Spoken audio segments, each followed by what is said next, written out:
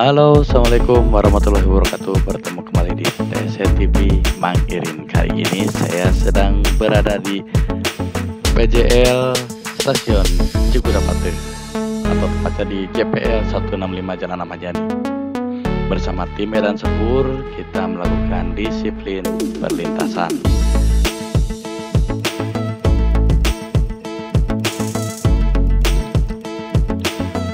Oke, momen spesial hari ini Jumat 5 Maret 2021 bahwa acara disiplin perlintasan kali ini ditemani oleh Direktur Utama PT KAI Persero yaitu Pak Didi.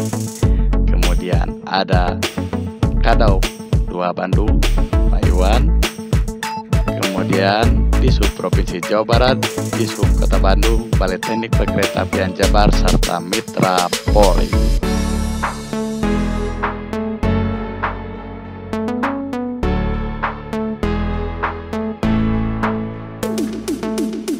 Tujuan dari disiplin perlintasan ini adalah untuk mendisiplinkan para pengendara yang sering melawan arus dan juga pengendara yang tidak memakai masker, kita berikan masker secara gratis.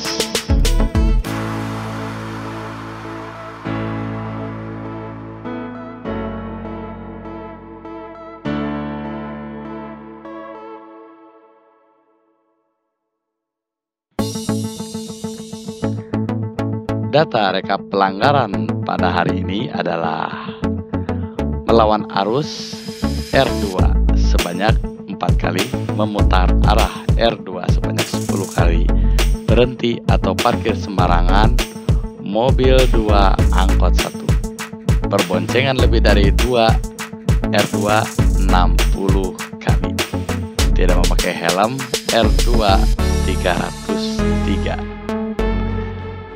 Total pelanggaran 380 pengendara Sementara pelanggaran protokol kesehatan tidak menggunakan masker R2 sebanyak 330 kali, R4 175 kali, pejalan kaki 80 kali dengan total pelanggaran 585 pelanggar. Penindakan pelanggaran dan protokol kesehatan pemberian masker secara gratis.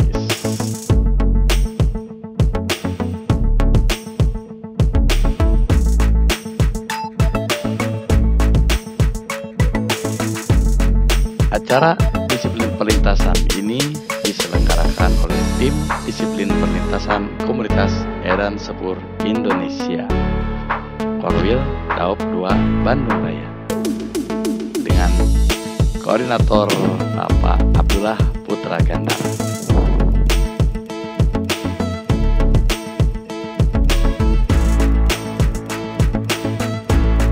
Oke, sekian video kali ini. Terima kasih yang sudah menonton.